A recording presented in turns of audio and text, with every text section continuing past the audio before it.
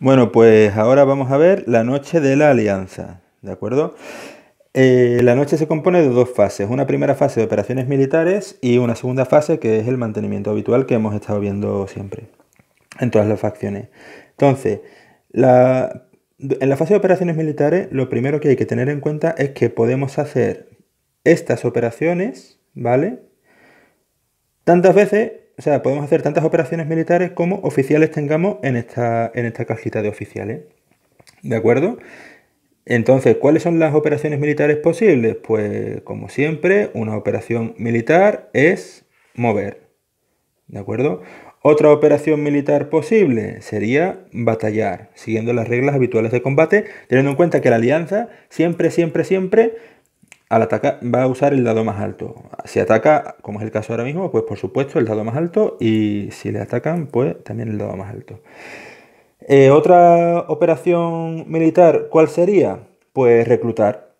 Reclutar consiste en colocar un guerrero en una base, ¿de acuerdo? Y otra operación militar, la última, es organizar, que es quitar un guerrero de un claro en el que no haya simpatía y colocar fichas de simpatía. Por ejemplo, imaginemos que esto estuviese aquí y la alianza con una de sus operaciones militares decide organizar, pues retira a este guerrero, lo devuelve a la reserva y coloca la ficha de simpatía que le toque.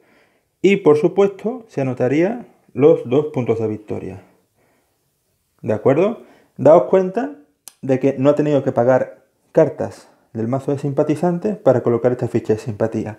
Y esto es lo que convierte a la alianza en una máquina generadora de puntos cuando ya tiene mm, varias bases desperdigadas por el tablero, porque se puede poner a montar combos entre el entrenamiento que puede hacer durante el día para colocar oficiales, la colocación de guerreros en bases y luego mover los guerreros y cambiarlos por fichas de simpatía, pues puede generar un montón de puntos. Se han visto generar a la alianza hasta 8 y 10 puntos en un turno. Entonces, claro, la alianza llega, empieza muy calladita, pero de repente te das cuenta de que te hace 10 puntos en un turno y pues te pega el palo.